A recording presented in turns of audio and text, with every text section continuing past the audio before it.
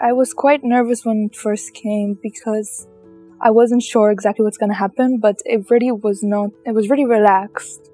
I wasn't worried at all when I actually got there.